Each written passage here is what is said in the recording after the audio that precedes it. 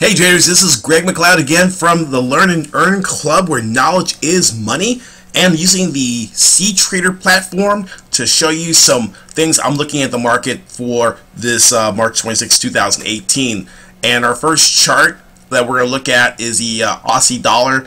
And uh, we got uh, a nice little bounce here at the 77.31 area which is a, a Fibonacci uh, level um, that we're looking at and I'm looking for a move back into this green zone at 77.95 so looking for this bounce to continue uh, if we break below here uh, we could possibly come back and retest 76.75 and if we do and we hold 76.75 then I'd look at that as a nice double bottom for a launch back higher okay so right now it's kind of a corrective kind of a, a move here uh, but we might be able to get uh, a little bit higher on this uh, Aussie dollar. Okay.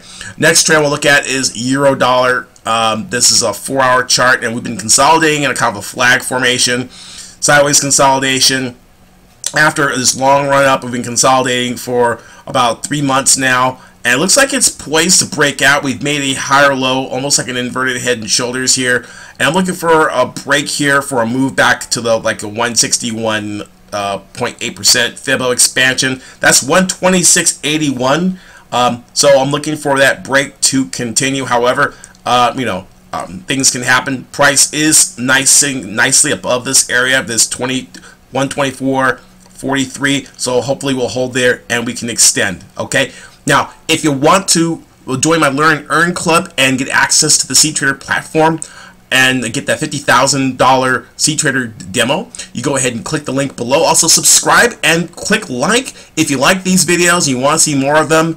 Thank you for the likes and the and the, the thumbs ups. Thank you for the uh, the subscribes. Okay, and also sign up for your free demo account with CTrader. Talk to you soon. It's Greg McLeod with Learn and Club signing out. Cheers. Bye bye.